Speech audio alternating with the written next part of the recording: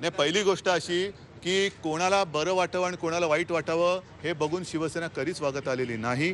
शिवसेना आणि मी हेच म्हटलेलं आहे की भारतीय जनता पक्ष करेल तेच देशहित आणि इतर करतील किंवा त्याला विरोध करतील तो देशद्रोह या भ्रमातून आपण सगळ्यांनी बाहेर आलं पाहिजे. आणि म्हणून मला असं वाटतं की देशाच्या भवितव्याचा जर प्रश्न याच्यात निर्माण केला जात असेल किंवा होत असेल तर याच्यावरती अधिक विस्ताराने आणि व्यापकतेने सगळ्यांची मतं जाणून घेण्याची गरज आहे. राज्यसभेत राज्यसभेत जोपर्यंत स्पष्टता होत नाही तोपर्यंत शिवसेना पाठिंबा देणार नाही. जोपर्यंत कदाचित नाही देणार. सिटिझन्स अमेंडमेंट बिल काल स्वतः गृहमंत्र्यांनी सांगितलं हे या देशाकरता आहे. कुठल्याही समाजाच्या विरोधात नाही आहे अतिशय चांगलं स्पष्टीकरण त्या ठिकाणी देण्यात आलं. आणि त्यानंतर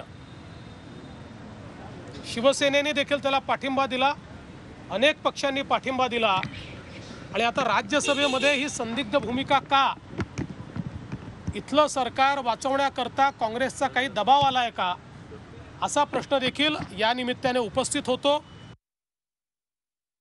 ये जो भंगड़ा पॉलिटिक्स हो रही है शिवसेना कल बीजेपी का साथ दी। और कांग्रेस एनसीपी बीजेपी शिवसेना का मुख्यमंत्री को सपोर्ट करती है। ये क्या, ये तो इनको सोचना चाहिए।